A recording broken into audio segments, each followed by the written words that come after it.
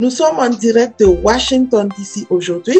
J'ai le plaisir d'avoir la chanteuse togolaise Tata Christine sur ma chaîne. Qui est Tata Christine? Mon nom à l'état civil, Tata Christine.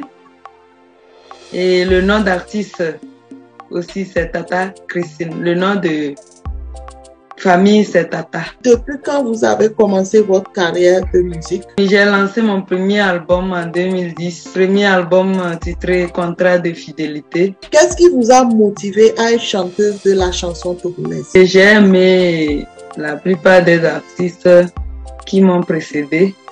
Quand je les entends chanter, ça me plaît. Et moi aussi, je savais chanter. J'ai dit pourquoi pas euh, valoir, euh, faire valoir la tradition togolaise de Kabié. La plupart de mes chansons parlent du foyer, comment les femmes souffrent au foyer. Nous sommes en direct de Washington DC et j'ai le plaisir d'avoir Tata Christine sur ma chaîne. Quel genre de musique tu produis? Je fais la chanson traditionnelle Kabié, du Nord Togo, la Kosa, je fais Chimou, Kamou, So, je fais la tradition, je mélange un peu le tradit moderne. Combien d'albums vous avez aujourd'hui? Aujourd'hui, j'ai quatre albums sur le marché. Combien de chansons vous avez faites? Le premier album euh, comportait six titres, le deuxième, sept titres, et le troisième, sept titres et le quatrième, huit titres. Par quelle chanson avez-vous commencé votre carrière? J'ai commencé mon, ma carrière en 2010 par euh, euh, mon tout premier album que j'ai baptisé Contrat de fidélité. Et dans Contrat de fidélité, il y a eu deux chansons en kabier, la tradition Chimou, la chanson Akbendo, et par la chanson là que les gens m'ont connue dans mon premier album Contrat de fidélité. Est-ce que vous avez eu des awards, des reconnaissances dont vous pouvez nous parler? J'ai eu un award en 2015, Cara Music Award, dans la catégorie chanson traditionnelle.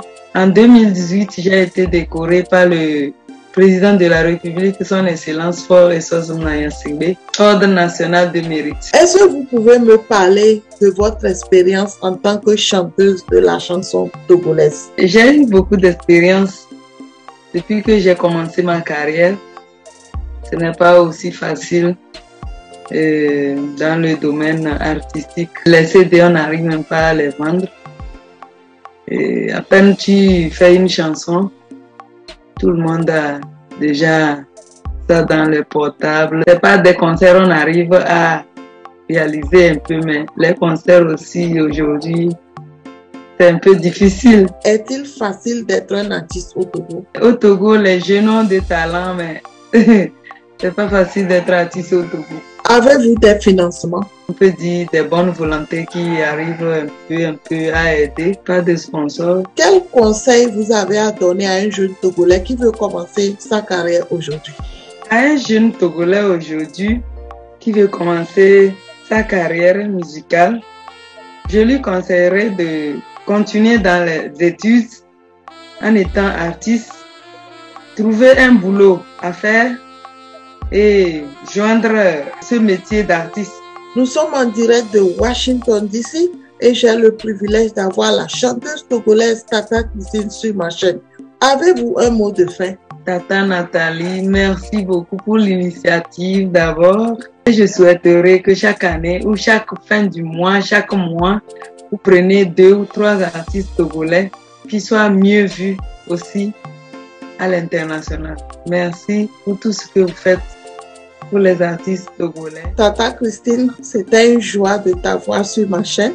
Je rappelle qu'on est en direct de Washington DC aux États-Unis et c'est une joie. J'espère que très bientôt, on se reverra pour un prochain numéro.